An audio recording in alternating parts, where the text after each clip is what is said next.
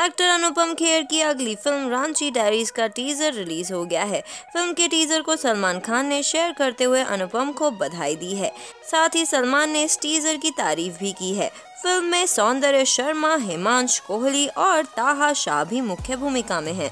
Film में जिम्मी शेरगिल भी हैं, जो एक पुलिस इंस्पेक्टर के किरदार में नज़र आ रहे हैं। 32 सेकंड्स के इस टीजर को देखने के बाद पता चल जाता है कि इसमें बैंक लूटने की तैयारी की जा रही है। फ़िल्म को सत्विक मोहंती ने डायरेक्ट किया है। Bureau report, Indian film history. For more updates please subscribe Indian film history